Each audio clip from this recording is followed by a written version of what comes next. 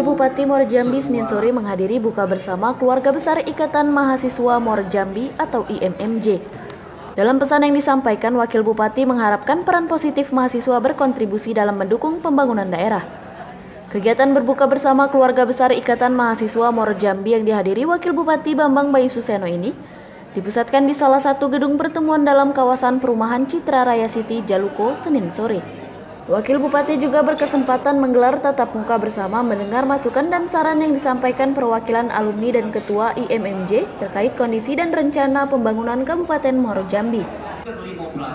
Wakil Bupati Muaro Jambi Bambang Bayu Suseno mengapresiasi sinergitas yang terbangun antara pemerintah kabupaten dan mahasiswa sebagai ujung tombak regenerasi bangsa ke depan kata Wakil Bupati.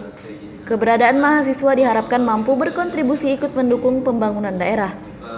Kegiatan juga diisi dengan mendengar ceramah agama yang disampaikan Sekretaris Camat Sekernan Isa Sohiburido yang menyampaikan tentang keutamaan orang yang berpuasa. Kegiatan ini diakhiri dengan foto bersama dan bersalam-salaman sebagai bentuk terajutnya komitmen bersama mendukung kemajuan daerah di masa mendatang. Dari Jambi, Yeki Santoso, Tribrata TV, Salam Tribrata.